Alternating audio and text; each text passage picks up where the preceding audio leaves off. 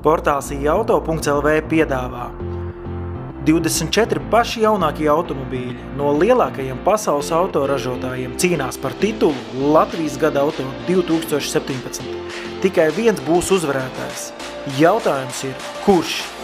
Skaties svinīgo apbalvošanas ceremoniju 9. decembrī 2008. vakarā TV tiešraidē kanālā RTV un internetā portālos Delfi i auto.lv TVNet.